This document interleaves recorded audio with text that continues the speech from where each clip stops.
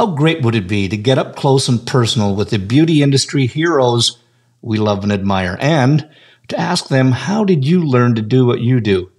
I'm Chris Baran, a hairstylist and educator for 40 plus years, and I'm inviting all our heroes to chat and share the secrets of their success.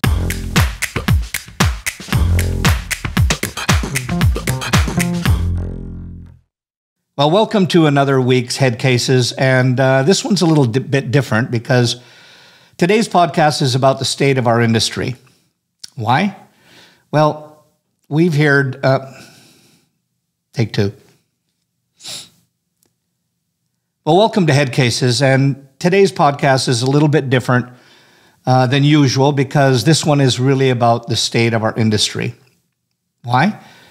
Well, Here's some comments that I've heard numerous times from owners, stylists, and industry leaders. Things like salons are in crisis mode, hard to find staff, staff doesn't want to work on Saturdays, there is a higher turnover of staff. 40 to 50% of the industry is going independent. They don't want to work 40 hours per week. Educational events and education is changing. Clients complaining about increased prices. They're not coming in as frequently. Well, what does that mean? Well, to be real, you may have heard of all of them, or you may have just heard one or one or two, but five will get you 10 that you've probably experienced one or more of those things that have happened to you. So the question to ask is Are these new trends, are they reoccurring ones or fake news? Do we conclude that our industry is in the worst shape it's ever been in, or are we primed for a pivotal shift, or are these kind of blips in our radar searching for a course correct? Do we throw our hands up in the air and say the sky is falling, to quote an old children's tale, or do we have a realistic look at where we're at and ask why? That's why I've asked and invited the person back who is qualified to talk about this. He labels himself as a dispassionate observer, and he has the background to understand our industry. He studies it, and he calls BS to fake news. This is about having an intelligent conversation about the state of our industry. So let's get into this week's head case the forever observant and passionately dispassionate, Mr. Gordon Miller. Well, Gordon, it is a pleasure to have you back on. It's been it's your second visit, so welcome okay. back to Head Cases. It's a pleasure to have you on board. I am honored, honored. Your guest list just I I feel I'm not worthy oh, please, please. You're you're you're one of the very few. Actually, there's only two people that I've had on twice, and and you're in that list. So you you must rank really high with that. Oh, and I, and I just want I just want to say thank you for being here. Uh, and you and I have had some private conversations, and that's what kind of stemmed for the people that are watching and listening now. That's what kind of stemmed this conversation. And and if I in the intro, if I kind of poked at your pain and and you went, "Ooh, I had a little butt pucker on all this one," that's really what that was intended about. Because really, what um, I wanted Gordon to talk about today, and because he's much more in tune with this than I am, but I've I've heard all of those things that I put into that intro, and they are things that are out there. And I thought that the way that we deal with that in our industry is just by having a conversation about it. And you know, it's not that Gordon. I'd, I'd say we're probably not going to we're not going to give anybody magical insights into what they need to do, should do. But I think these conversations are are really important. That when we look at the state of our industry, and what kind of a state is it in. Mm-hmm. So, it, what would if you and and I want to do this just before I ask. I want to find out get from a thirty five thousand foot level, kind of where you're feeling this is at, and that might not be a fair question, but I want to. I did talk in there, and I I labeled you and as uh, forever observant mm-hmm. and passionately dispassionate. And when you and I talked about it, you you you talked about being a dispassionate observer. Mm-hmm. And so people get the right connotation from that. What does that tell us what you you mean by that? Not letting my emotions and feelings um, you know, impact what hopefully is kind of my never-ending journey to find out the facts. Yeah. Because, you know, a lot of times you see things and they don't necessarily reflect your own reality, my own reality. Um, you and I were talking just before we hit record, and we are fortunate, having done what we do for such a long time, that we get to hang with a lot of really successful people. And if I just would put my blinders on and thought about the industry from the perspective of who I know, I would think, oh yeah. oh my gosh, like this is this industry. Everybody is crazy successful and making great livings and travels the world. And and again, we're so fortunate to know these people, and I'm so happy they exist within our industry. But like any industry, they don't represent everybody. And so to me, it's just important in, in what I've always done in the industry, um, especially in the last 10 years or so, is that, yeah, I can be dispassionate and I can just do my best to wander around the nooks and crannies of the industry trying yeah. to find information and then piece it all together you know my my my love when i was younger in college was economics which is really about understanding how the parts and pieces of of the economy fit together and the story that they tell. And it's never as simple or or, or it's never as simple as we think it is. And so I yeah. apply that logic to what I do in beauty, and I, I, I think I've I being dispassionate is a very important part of, of doing yeah. that well. Yeah, especially in our industry, because I can, I'm not speaking for everybody else, but I can speak for myself that somebody can poke at a nerve on me that maybe sits on a sensitive area that I might be either not doing well in or things that I worry about or things that I yep. keep me up at night. And that can really throw me off. And I don't get to think about it uh, in a rational way. Mm-hmm. I, I, loved what you said uh, when we were having our conversation before this. You said knowledge is power, mm-hmm. You know, and, and, but it really, it's only power if you're doing something with it, right? Right. So I, I want people to know because we've, you've been on with us before and, and, you know, I, you know, I'd trust you with anything in our business. But for the people that might not have listened before, I, think it's really important that they understand a little bit about that you're not just a statistician that went to college and, and university and came out to this. You've been involved in the beauty industry for X number of years. So could you just give us sort of that Reader's Digest version of where you got all of this passion for our industry about? Well, first off, um, X the X uh, equals 45 years and only people who've done what we you and I have done for 45 or so years would even know what Reader's Digest is. oh, well, there you go. Yeah. I had to say it. Um, yeah. But, but the short version of everything was the Reader's Digest way. I'm yeah. not a hairdresser, not never been a salon owner. Um, I've always been on the business side of beauty. I went to regular college. You know, I got a degree in investment finance and I got a minor in economics. And and I just knew when I got out of college that's not what I wanted to do. And then, really short version of the story is I fell into beauty at age 22, went to work for Enchanted Cosmetology yeah. Schools. That led to some more things uh, in Colorado and in, in, Utah, in, in, down in the weeds in the cosmetology school business, which I uh, really learned to love very quickly. And then Leo Passage at Pivot Point found me. I spent 10 years with Leo. Um, left, I was vice president or one of several vice presidents there. Then I was president of Milady Publishing. So I spent 20 some years in the school side of everything, education, really fell in love with it because of Leo. Fell in love with hairdressers along the way. I mean, just so opposite of kind of who I am, and I think opposites yeah. are drawn to each other, and it's, it's part of my you know interest, I think, and and and love for this industry. Then I ran the Hairdressers Association (NCA) for ten years, National Cosmetology Association. Uh, other stuff happened and I fell into digital and media and I was obsessed with social media, which kind of created a whole new chapter for me became publisher of American Salon and AmericanSalon.com, and then CEO of Hairbrain for five years. And now I run a little company called BeautyCast Network, um, which is really focused on helping young people to end up in the first right job because we feel that's so yeah. important. And yeah, and, and along the way, I just became a, a, kind of a data geek and someone who has been fortunate enough to serve on committees and boards and all kinds of things throughout the industry. And and but never lost my interest in kind of the economics thing, that putting the puzzle together. And there aren't too many people in the industry who do it, and not too many people in yeah. the industry who, who, care enough to do it. So um, it gets me in trouble from time to time. I, I say some things that upset people, but again, I try to be very, you know, fact driven and and and do my best to put the parts and pieces of, of the puzzle together in a way that makes sense to people.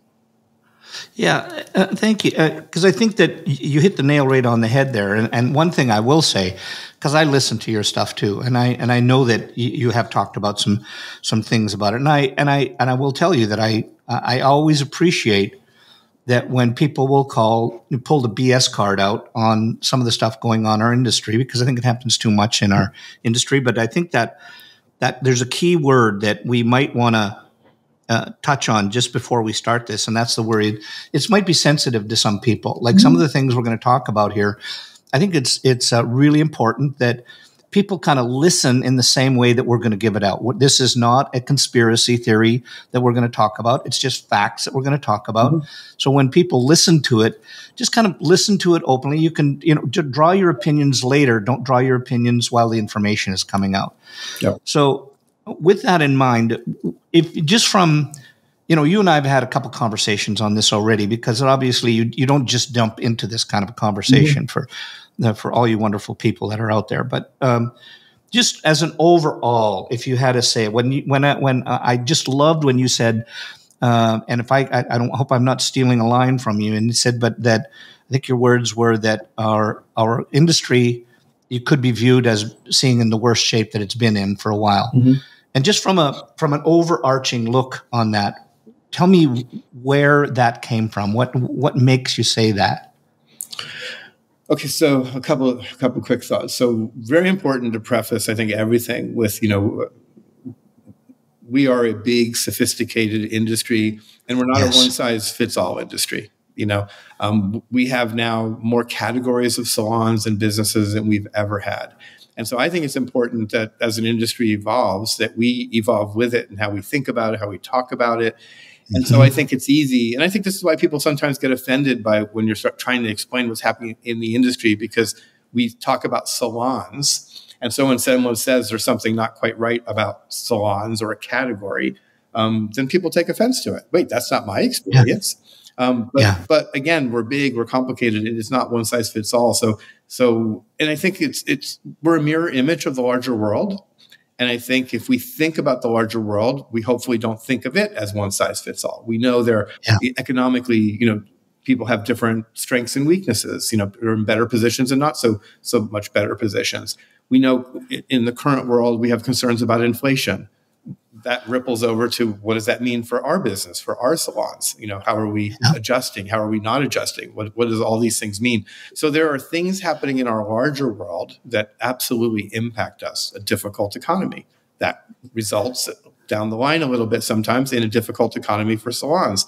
And we are experiencing that right now um, in different parts of the industry in different ways. So, economic, as an example, um, if the salon economy is difficult, then you could kind of make the assumption based on how people behave in the larger world that some are going to tighten their belts and go downstream. So you may have someone who's in that middle of the salon market getting services done and things get tight for them their family. So they still want to go to the salon, perhaps they go to a lower price point. Perhaps they spread yeah. out appointments. Perhaps they start doing things at home. Perhaps they always got cut in color and they cut out the color. I mean, this is just the reality of some people's lives. And multiply that times a whole lot of people when we talk about the economic trends of the country, and it's going to have an impact on us. And it's important to consider that and everything else that's happening in the larger world to what's happening uh, to us right now.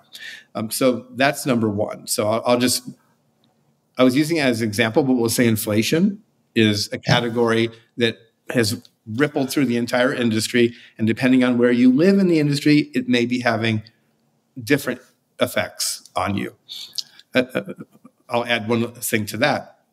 Because when you talk about any of these challenges to a listener, I would say when you hear these big challenges, they may or may not have an impact on you. Um, but at the same time, they might, and you might not even know it. And then the question becomes inflation how are you internalizing what's happening in the world around us? How are you considering your price points? How are you considering your spending? How are you considering the clients who you've traditionally served and the economic challenges that they, they might be facing? And do you have some understanding of that and empathy for that? Um, number one. And then number two, do you have a business plan to address those challenges? Like, what are you doing? Yeah. And so, you know, a, a lot of different ways to look at this. So the economy and inflation, number one. Um, number two is that, you know, unemployment is actually at almost the lowest it's ever been. It's very, very low. Um, and um, which means that employers outside the industry are chasing people. Um, so, yeah. especially for young people, and because big companies use Amazon as a, a classic example, um, are aggressively seeking people um, to come work for them and paying more than they've ever paid, our industry, the people who work in it, have opportunities to go elsewhere. And so yeah. we're constantly trying to bring in new talent. We have to, every industry does. And arguably, that talent pool um, is as small as it perhaps has ever been because there's just other things distracting young people who may be perfectly suited and even interested in our industry, but they're the money's being waved over from someplace else, and that has an that has an impact on the talent pool itself. Another thing that's happening, again, trying to pick little categories here, is how all of us, you know, um, are impacted by the information that's flowing through the world. We've never mm-hmm. had so much information yeah. coming towards all of us. And whether it's inside the industry or out, social media has allowed a lot of information to flow in ways it's never has before, including misinformation. And then beyond misinformation, there's kind of like what I consider aspirational information. Those are the conversations we often have in the industry about all the great opportunities there are and how people can make just amazing livings and, and do great work. Um, but often, as that gets talked about, it doesn't have necessarily kind of guardrails around it. So a young person might experience a lot of conversations about six figure hairdressers that may set them up for the expectation because they don't have enough information to think, well, I should be there really quickly. And then sometimes yeah. cer- certain t- certain people, certain types of people um, who, who are hearing things, um, maybe just the way that they process information, the way they understand things, their expectation is I got to get there fast. And they feel like they're failures if they don't get there fast enough and they leave unexpectedly. And, and often people leave the industry for reasons we don't even understand. They just don't show up to work one day. And so yeah. you've got perhaps potentially more turnover than we've ever seen um, and more kind of listening to all that information that's out and around us and, and grabbing onto bits and bytes of it that feel like they may suit their needs or or reinforce their insecurities or or or you know and so i think that's another giant um, category of concern is all the information that too often young people without context are hearing, and it potentially can set them up for failure. Um, another thing I think, another category would be, and this one kind of connects to what I just said, that's mentorship. And we maybe oh, yeah. talked about this last time, Chris. I don't remember. Yeah. But I yeah. think that we have a shortage of mentors, and it's significant. Um, you and I grew up in an industry that I think always believed in the power of mentors. And it just was yeah. such a big fundamental part of building a career that you had connections with people, that you had people who were around you sometimes who kind of help you get to the next step. It was imperfect, it was very casual in, in many ways, but it was just kind of part of the industry and how things operated. As we've had a giant shift towards independence, the mentorship kind of falls by the wayside in some ways because you're no longer in the physical facility where a mentor could be two chairs over right. or an owner who took mentorship seriously. Um, worked to make sure you were in an environment where mentors existed. So when you kind of just think about that and think about the move towards independence, it kind of makes perfect sense that we would have fewer being mentored because we just don't have the yeah. infrastructure for it. And if mentorship for decades has been part of the secret sauce that gets you to success, well, what does that mean for everybody? And I yeah. believe what it means is the potential for shorter careers and greater greater failures. Because I, I know for me in my life, and, and I can go through decades, and it's it's it's not one mentor, it's a series of mentors, including today. Mentorship is, is actually is key to having the good career that I've had and always being open to continue to have new mentors as my life has evolved. And I, I yeah. see a, a, serious shortage that concerns me because mentors, important to anybody listening, are not role models, are not the people out there on social media that we're watching. Those are all great, but mentors are people we can talk to. Mentors are people yeah. who who we have a relationship with of some sort. It can be digital, it can be way you can have a mentor by way of a Zoom. You know, it doesn't yeah. have to be yeah. someone you work with. But I think we have fewer and fewer of those kind of relationships than we've ever had, and that concerns me. Um, you want me to keep going? I've got more. Oh no, go. I, well, I've still got. I have some questions along the way, but I'm taking notes here. You want to stop so with some questions, going. and I'll. Well, listen. Uh, maybe just while we're yeah. on that mentorship thing, I just want to, you know, and and I want to preface this by saying, I'm longer in the tooth than probably long uh, all the people watching and listening right now. Probably some of you combined, and I don't want to be that baby boomer that is going, well, well, the way that we did it when it was way back then in the dark ages. Yep.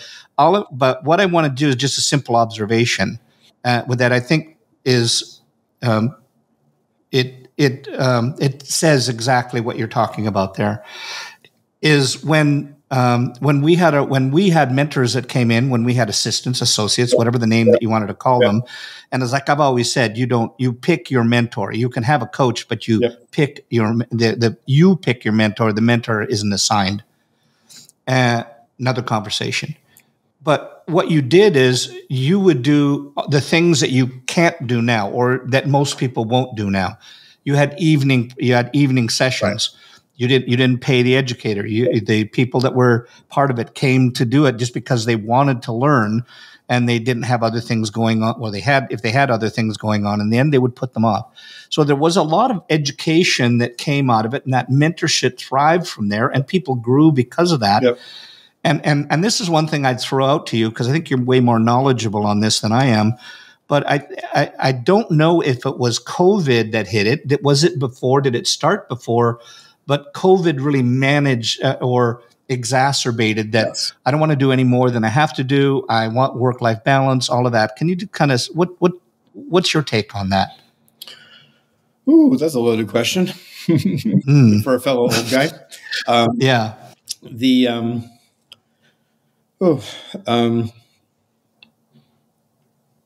I think that big picture. So let me start by let's talk about generations for a moment. I, th- I think that's yeah. a fascinating conversation.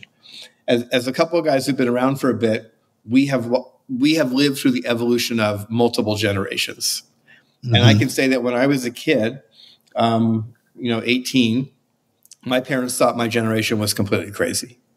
Mm-hmm. You know, so and we thought they were crazy, and the things that they were doing yep. and how they were doing them were not the ways that we wanted to live our lives. Now we didn't have social media, we didn't have digital media. The world moved at a slower pace, you know. So, but the reason I say that is to say to anybody, you know, who's who's looking at this generational issue and, and the, the way that we're working our way through it is it's it's not anything new. It's just everything's moving at a faster pace and information's yeah. flowing faster. But I think some of the ideas about creating success probably if we if we were able to bring you know Vidal back and, and talk to what it took to be successful in the 50s and 60s, the pillars would probably be very similar. How we go about doing them is different because we live in a different time. We have different tools. We have different technology. Information flows a different way. But I, I really truly believe that today how you build success in this industry, it's not very different than anything I've observed, because again, I'm an observer, I'm not the hairdresser. Um, it, it's basically all the same stuff. And so I think the question becomes for all of us as we kind of take maybe the one good thing that came out of COVID, you know, which is, I, I think, so many of us taking the time to step back and look at our lives and say, do we have balance? Um, mm-hmm. whatever that means for each of us. And I, I think that's important to say because I, I, think balance is a very individual thing. Um, and I think we have to sort it out based on the lives we have. Do we have children? Do we not have children? You know, how, what else is important to us in our lives? It, you know, it's, it's, a complicated, you know, conversation with ourselves and th- those that we love. Um, but I think that again, the, the, the pillars of success haven't really changed. So if you feel that you know three days work is is it for you because of the rest of your life and that's what's going to make you happy. Then the question becomes well what does success look like potentially for you within three days? And yeah. that's okay. I think for a lot of younger people I, I, I would say that mathematically that's back to the dispassionate part right? Mathematically yeah. when we talk about the current way the industry is there's a, there's a big movement towards less time and more money yeah. And that's a challenging formula. And I think some people can get there. And the people I see getting there easiest, they're just kind of unicorns. They're going to be successful no matter what. They were born to be successful. They're, they're a rare breed. The rest of us have to work a little harder. And so I would just say to everybody that as we as, as, as society changes and what we care about changes, that we just have really um, awareness of, of what it takes and find, again, those role models, those mentors that can get us there. Because I, I think one of the biggest drivers in, in the boundaries around time today, and I give young people credit for this, is saying, hey, if I'm in a salon 40 hours, but I'm only working 24, like, what am I here for? I don't want to, I should be able to work fewer hours because I'm actually not busy enough to convince myself that showing up 40 hours is the life I want to live. And maybe I don't see how I'll ever get there. Again, maybe lack of mentorship, maybe the lack of that person around me, that coach who could say, You're on your way, you will get there. Um, so, I, and I think that is a huge driver for what's happened. Big, big picture, the industry, I believe, from all the, the math over the years, before pandemic, that we were operating at about 60% of our potential um, to do services. Meaning, if you take the whole industry and put us all together, and then take all the clients that we take care of and look at our capacity to do work, which is, you know, if, if I if I have six openings today, that's my capacity. If I have three clients, that's my productivity. I'm at 50%. I believe mm-hmm. the industry has been at 50, 60% for, for a very long time, which means that before the conversations about boundaries, we were just kind of going along doing what we've always done, which is having a lot of folks in salons working who didn't have clients to keep them busy. And yeah.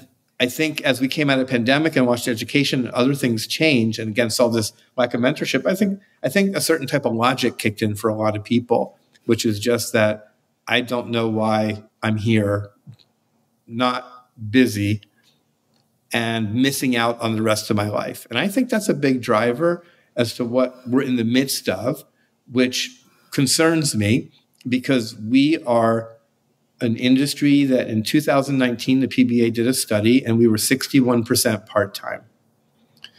Wow. Today, I would argue that it seems like we must be at at least 70% part time. Yeah. Um, and the question there is are we part time because we want to be part time?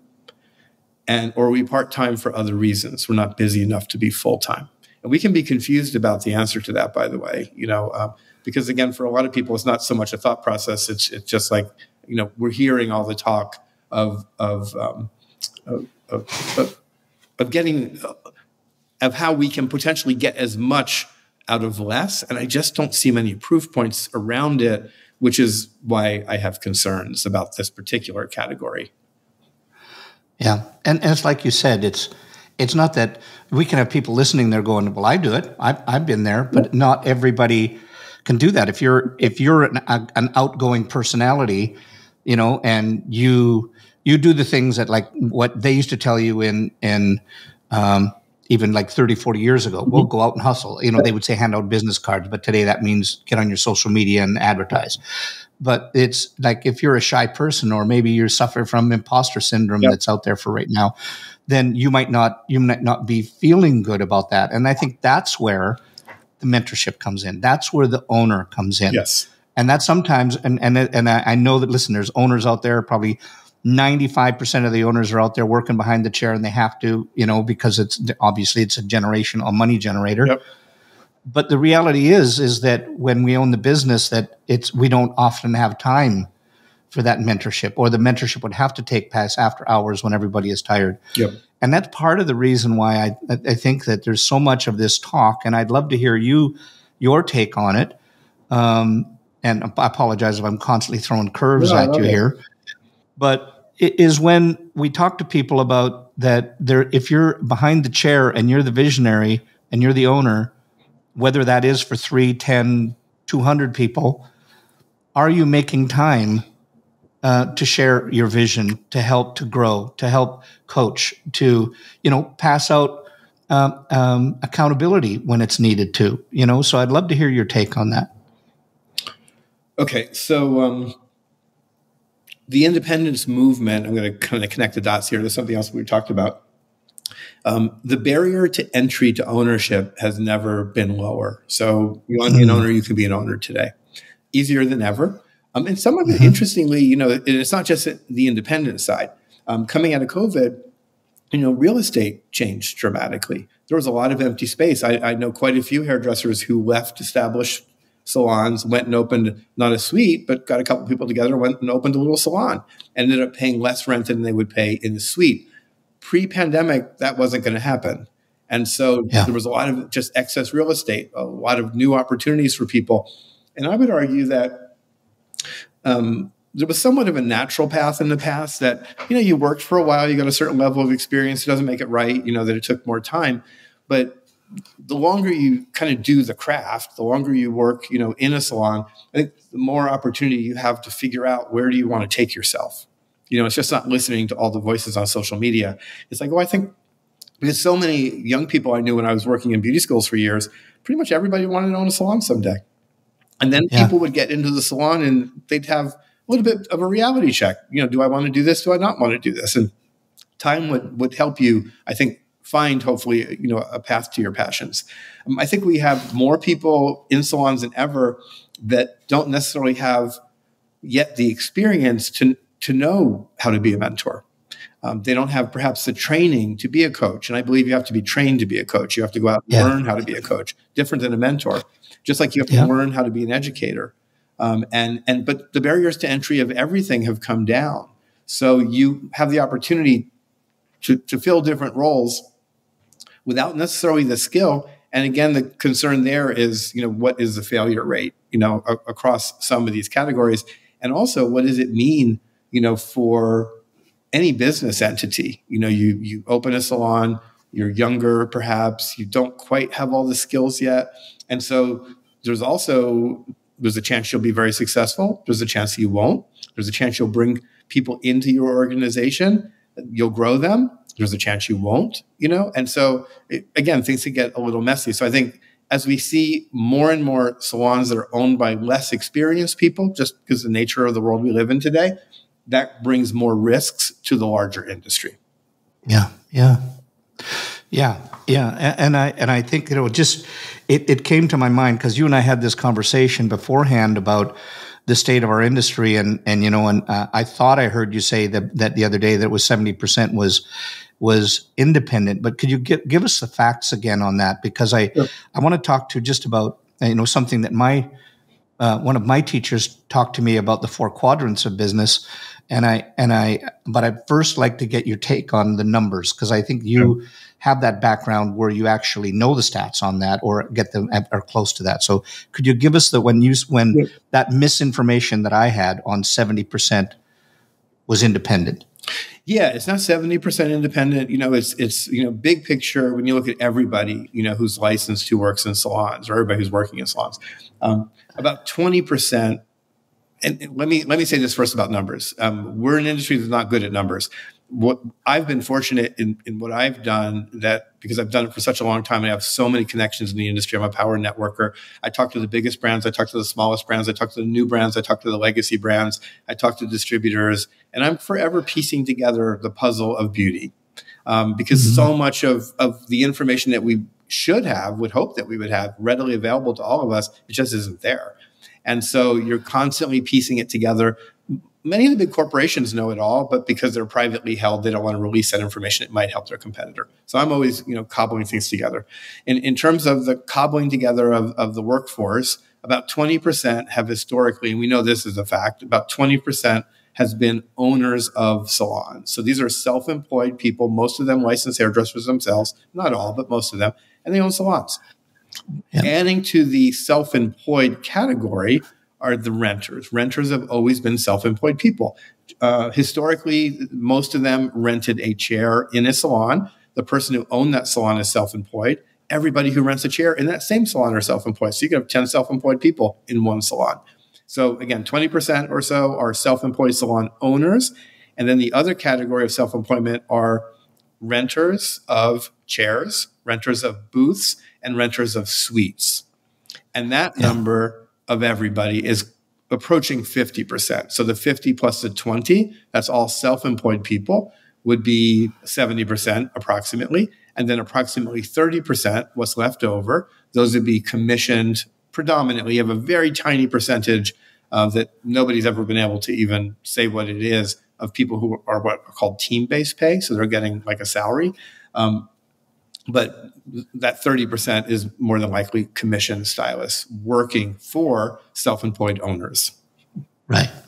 Yeah. And to that point, and I want to make this kind of very, th- this was, um, I just found this fascinating in- information. And and I, I am a bit of a chihuahua data freak when it comes to that too. I, I often don't retain all of it, but I, I love data.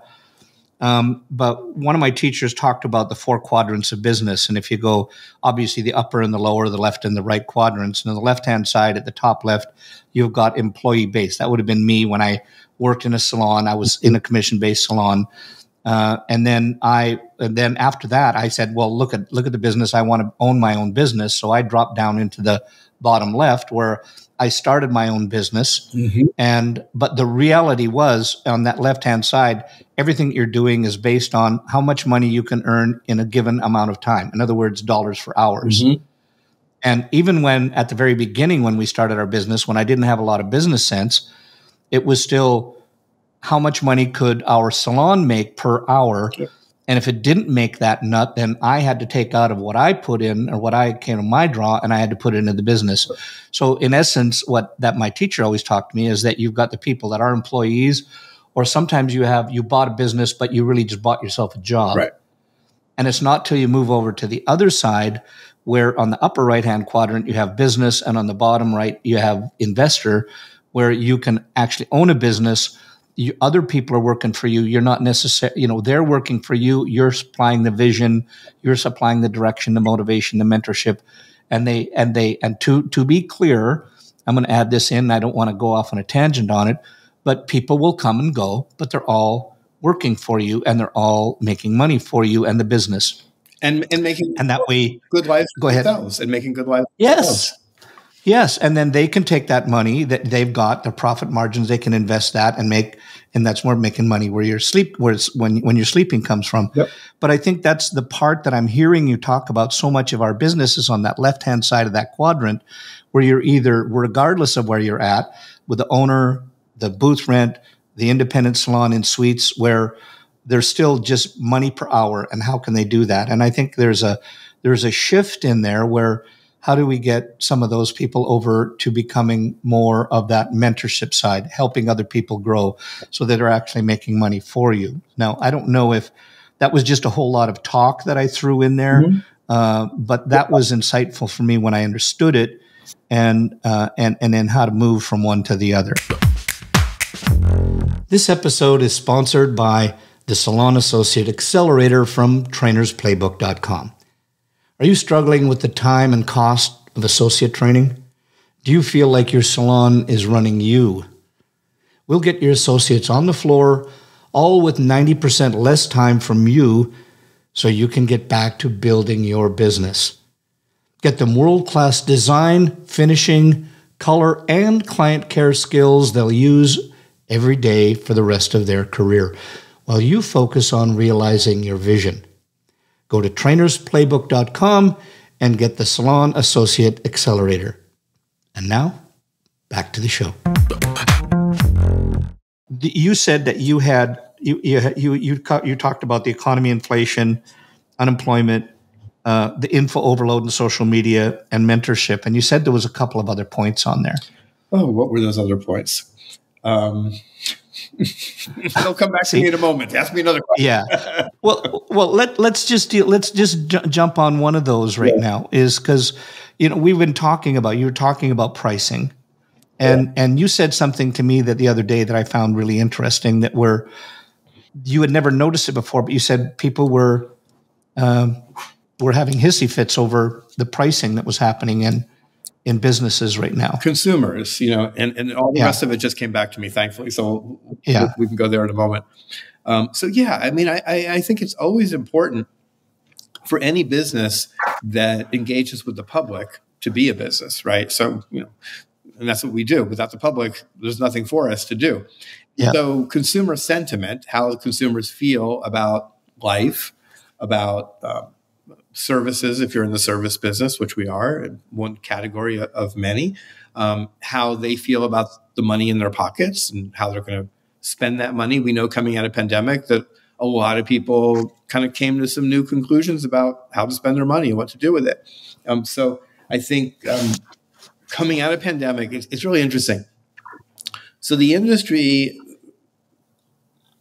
it feels like we gave ourselves permission, which is a good thing, to raise prices in ways which we've never done before.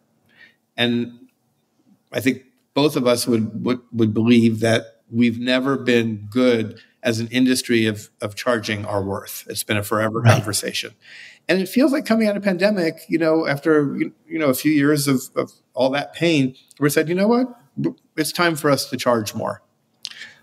What does that mean? You know, that, and that's where I think, you know, the industry, a lot of confusion happened. And so we saw all kinds of things happening. Um, a lot of people didn't adjust their prices same fear that maybe held them back in the past. Some got overly confident. We saw 20, 30, 40% price increases happening, especially in the, this category, which there is no data on that even I can find, um, which is moving from a traditional pricing menu to hourly pricing. And there you saw right. a lot of stylists who went over there, kind of did what they did. Some of them didn't even realize. Uh, I experienced this in a few conversations where they did it, they struggled with it, they were thinking about going back, and they talked to people like me, and they're going, I don't, I don't understand. Like I, I didn't change that much, but I'm losing clients like crazy. But I went to hourly pricing, and so let's let's figure out that math. And I'm like, well, you increased your prices over 35 percent. No, I didn't.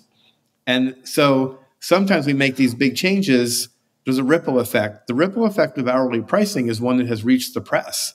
Washington Post did a big article on it of, of kind of pushback from clients. And if you pay attention to TikTok and all the conversations that are happening on TikTok about hairdressers and salons from consumers who are frustrated with what they see as pricing uh, gouging. Um, it doesn't mean that's what we're doing as an industry. These are again solo conversations. Again, got to think yes, about the big exactly. picture. But but there's a lot of negative buzz in the consumer space about salons today, and it has to do with what are perceived as challenges with pricing from a consumer point of view. You know, just a rapid yeah. increase in their own personal circumstances, which they then take their social media megaphone and blow up. You know, so it's interesting, but I I, I think we should never lose sight of, of who we serve, which are the yeah. public. Yeah, especially when you when you tie that back into so the socioeconomic conditions that are happening with you know unemployment or the, the economy the way it is right now and they perceive you know they, they they're just going to look at bottom line. What did it cost? Cost me $10 the last time cost me $15 now. Yep. So exactly. you know that's at the end of the game. So they're still going to look at that. Some people you know, you may, I, well, I love Gordon and Gordon does a great job on my hair. And so it's $5 more. What the hell? I'm just going to keep going. Yep. But if it means a difference between putting some food on the plate for my kids, exactly. then Gordon's going to have to, I can't afford Gordon anymore. Exactly. So it's like the other thing that I heard that's out there right now. And, and for a while, you know, and I, because I'm a traveler and, and pardon my language, but I always get pissed off when, when uh, I go and they'll say, well, it's, it's weekend. So airfare costs more, or I've got to spend twice as much on a, on a, uh, the same room at a hotel yeah. room and so on.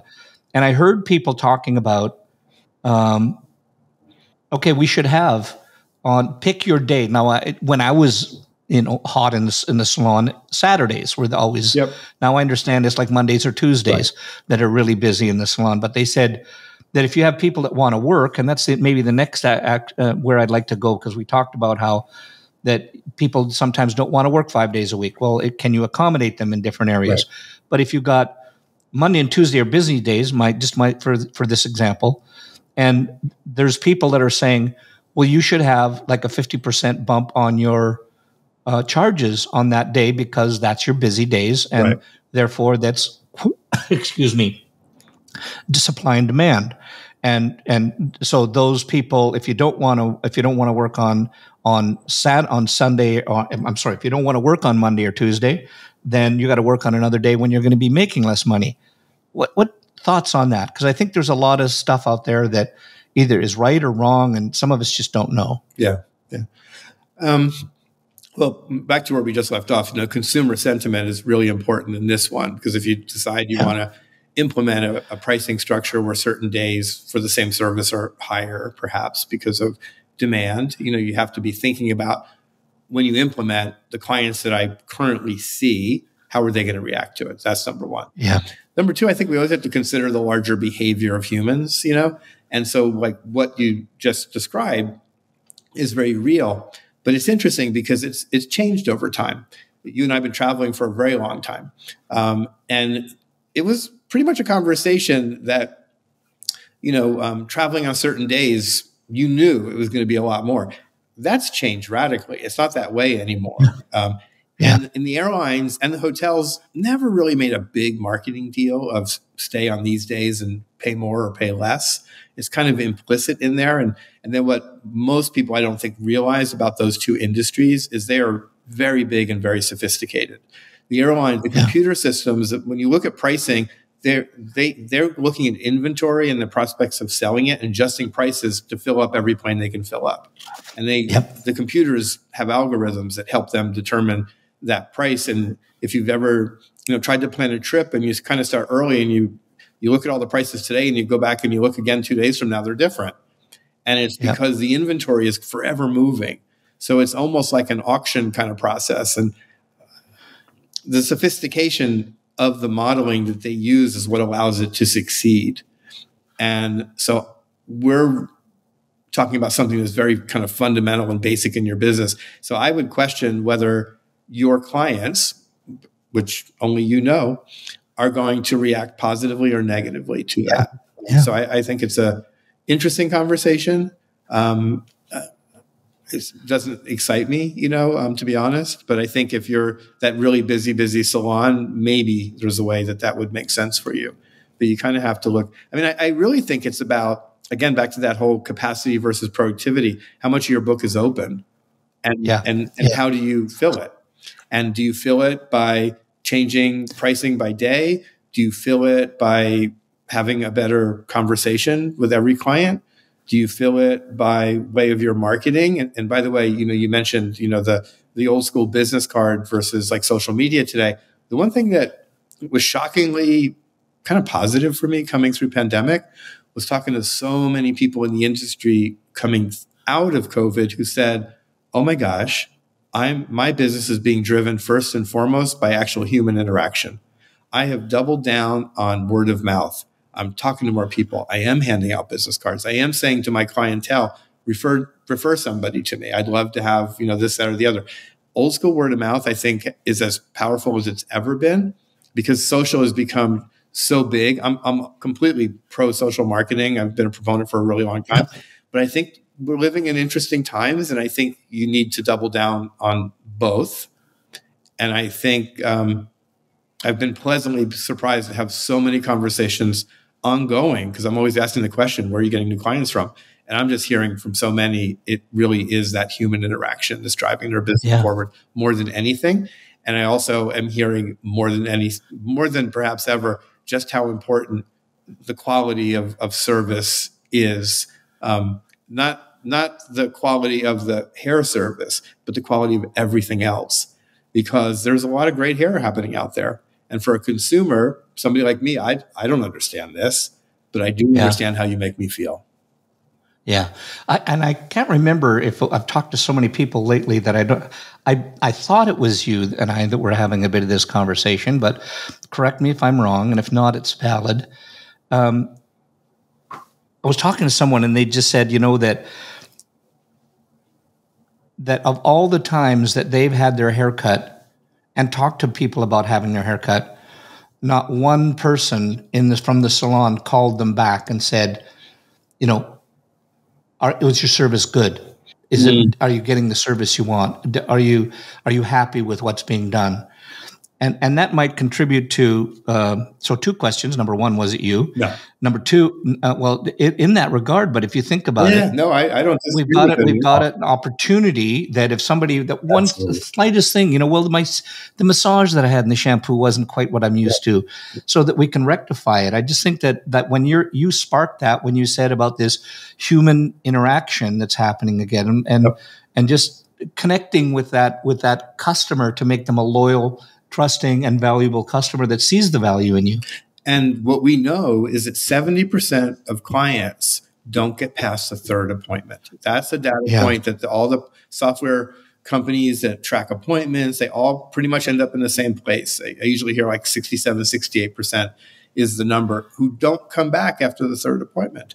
And I think it's a hard thing sometimes for us even to relate to because we don't typically in a salon realize that somebody hasn't come back yeah. until a long time later. You know, it's like, oh, yeah. what happened to so and so? I haven't seen so and so, or we don't even think about it. And so it's hard to get clients to come for that first time and to think that that number, which has been constant for, for, for a very long time now, um, that that's a huge miss. And I think it's a number almost anybody could improve by doing something as simple as what you just suggested, Chris.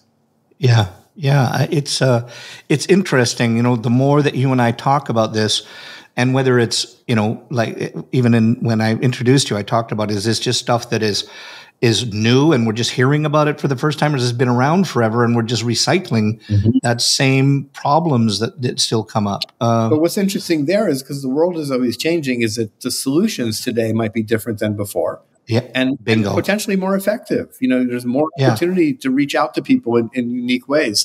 So I, I, I, think, yeah, you ask a, a really interesting question. Yeah, and, and you know, do you think that that it, it, that are we as an industry and i think it's always a trickle down you know like when i first started off in the business it wasn't like i was going out to all the business gurus and saying what are you doing in your business and how does that apply to me? But that was then when i was at that stage. But now i get to talk to a lot of people outside our business and they go damn that's really really good advice for in our business. Mm-hmm. do you find is is that trickle down effect all the way across our board, or do you find that there's more of outside information outside of our beauty information that's coming in and utilized in our in our in our business? I, you know, that's a that's a really interesting question. Um, I mean, there's always been those people in the industry, a lot of them very well known people, you know, who have focused on the outside. Um, yeah. You know, um, I'm trying to think of um, oh, the McCormicks um, from Houston, um, you know, um, Salon Visage, I believe. Yeah, um, yep. You know, famous for you know yeah. looking outside the industry always to find great ideas to bring into the industry.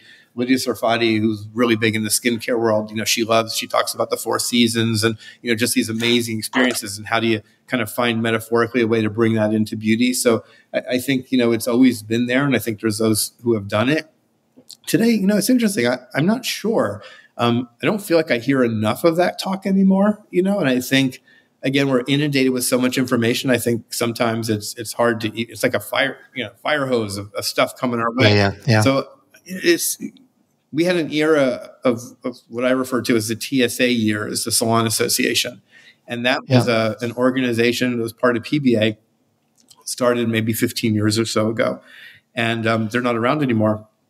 But out of that era, which was a group of really progressive salon owners who brought all kinds of talent, some of the greatest authors on the planet, who had nothing to do with our industry, but they brought them to us. And we yeah. hear that Malcolm Gladwell, who wrote The Tipping Point, was what I remember yep. really well. Yep. Yeah. And, you know, that was kind of an era that I, I, I wonder where that went to, you know? So I, yeah. I, I think you bring up something really powerful and important. I don't know the answer, but I think we, we will only be, we will only benefit if we do more of that. And, and yeah. we live in a world where we can all do that. YouTube. Every single day of my life, I try to watch at least one new YouTube video that has nothing to do with the industry, but has to do with other passions yeah. in my life, which as a workaholic, it usually connects back to beauty somehow. TED Talks and you know, just all the great stuff that's out there. We there's so much for all of us, you know, to avail yeah. ourselves. It doesn't cost us anything but a little bit of time. And so I, I, I, I think we're probably doing less of what you suggested. And I think I'll just say the opportunities is there for us to do more right now. Yeah, like, I, and, and just I think as a correction, and, and maybe you can correct me, or I can. I just want to make sure the names get out there because I think Salon Visage that was the Gambuzas, right? Oh, that's the Gambuzas who are just as interesting. The Gambuzas, yes, Salon, yeah, Salon Visage. That's the Gambuzas in in um, yeah Kentucky, and the McCormicks McCormicks were in Houston.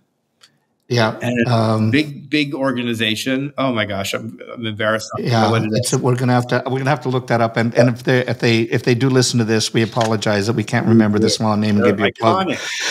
Yeah, uh, but you know, like to your point, I think the thing that I've I've tried to pass on to some of the people is is when it comes to profitability that uh, uh, the the book Profit First, mm.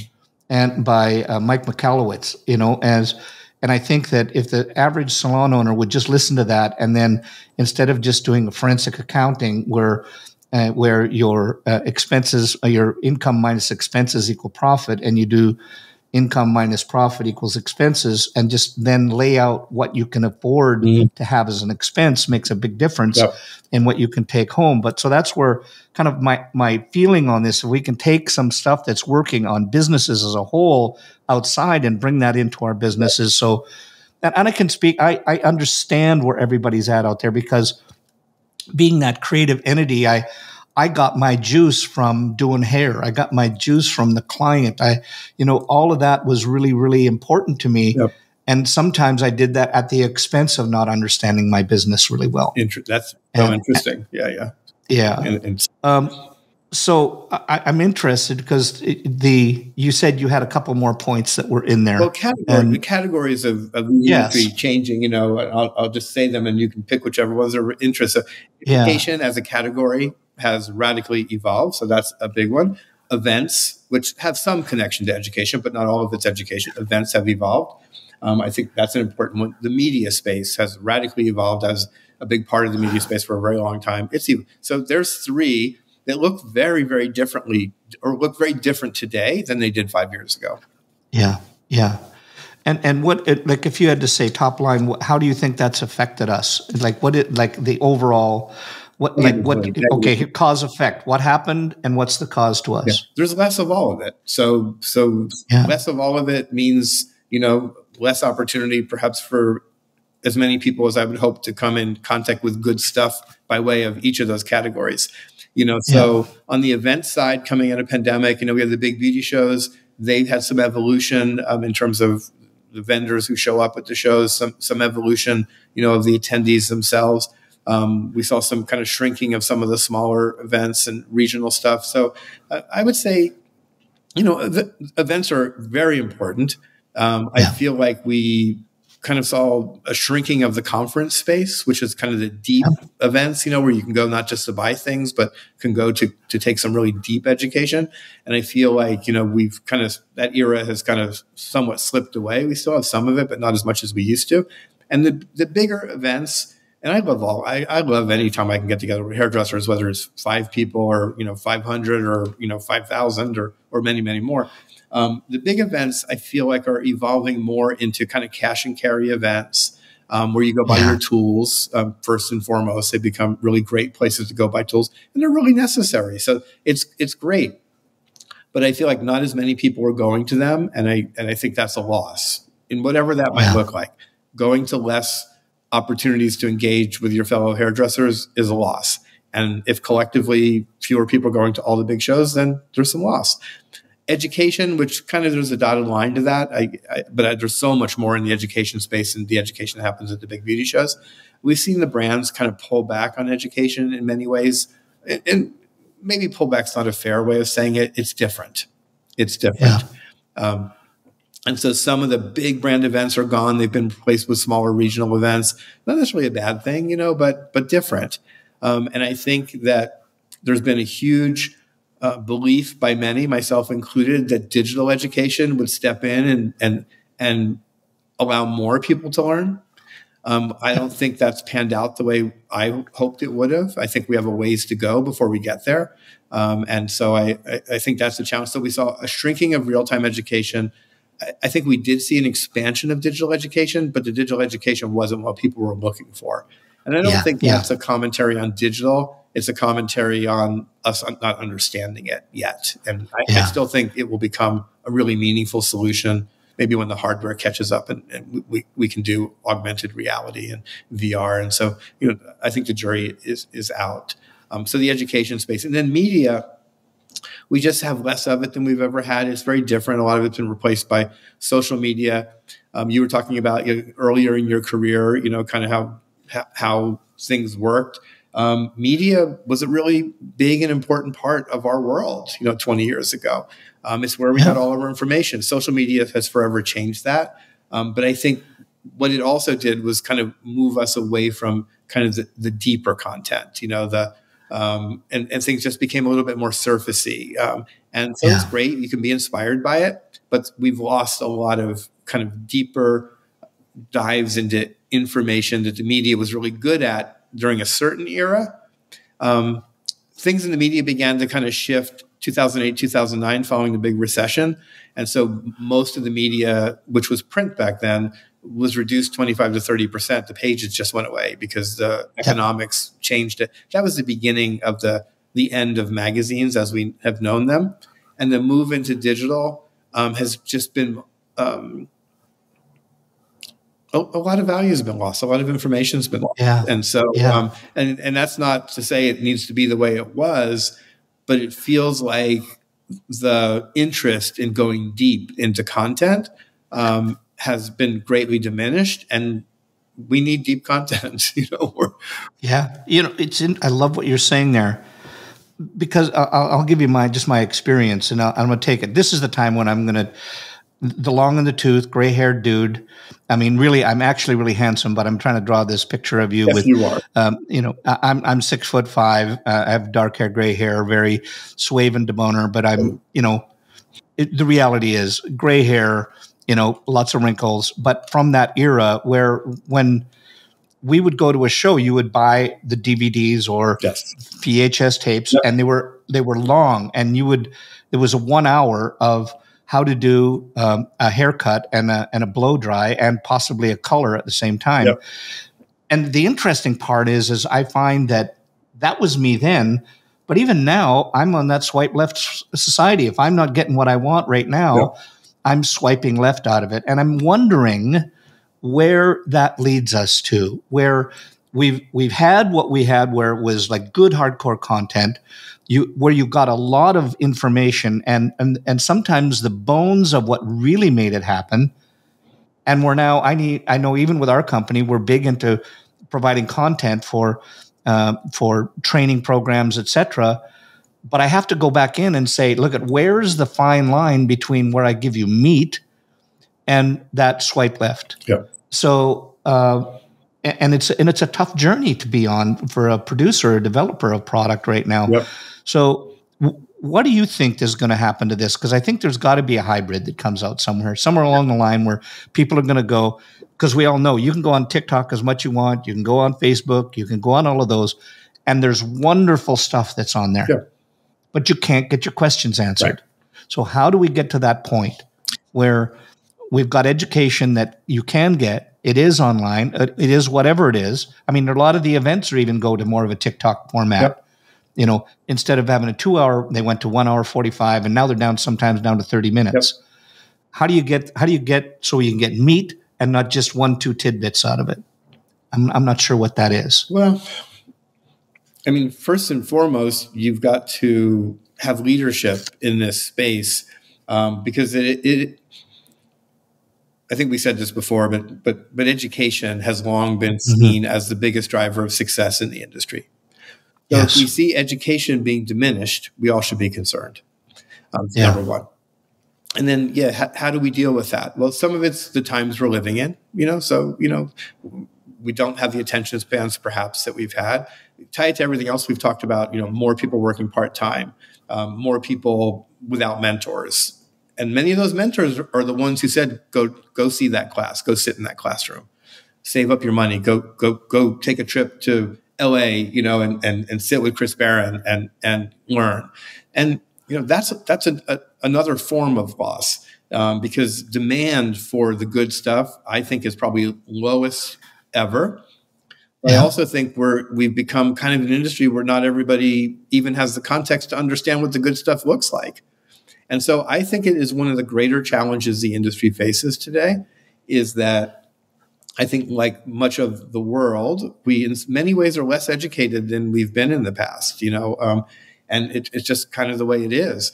And so things are going to have to change in the larger world, I think, to make education more attractive um, to all of us to want to spend our time and money to go get it.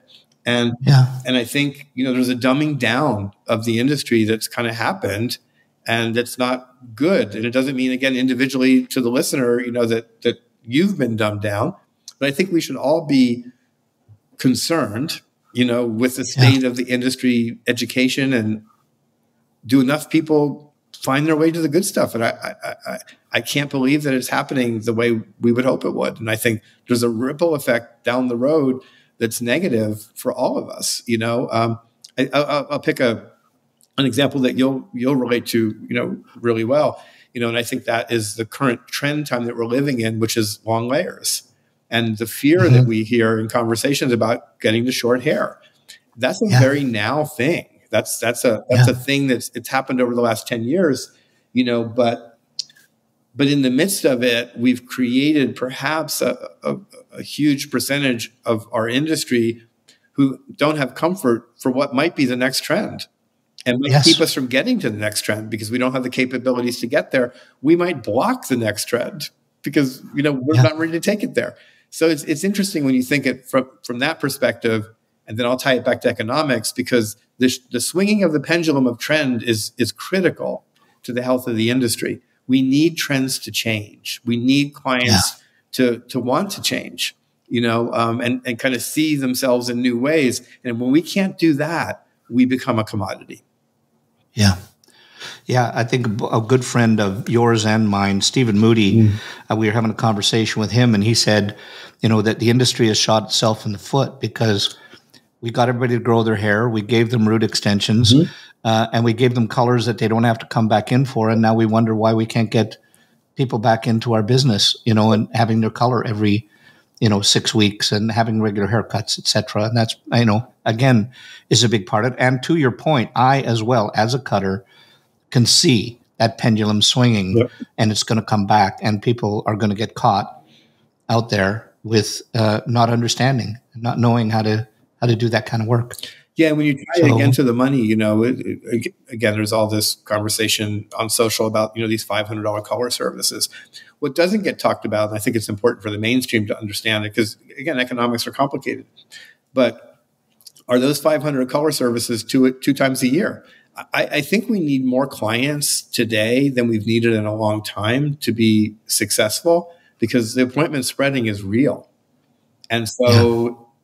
You know, if you've got a client that comes in every 12 weeks versus another client who comes in twice a year, and you start to do the math of that $500 client twice is $1,000 for the year, but that every 10 to 12 week client at a lower price could actually actually to a higher lifetime value that becomes complicated, meaning that big ticket can confuse us.